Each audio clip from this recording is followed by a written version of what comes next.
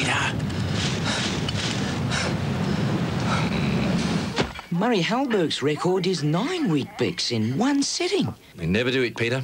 Not at this rate. I'm sure I can do eight, Arthur.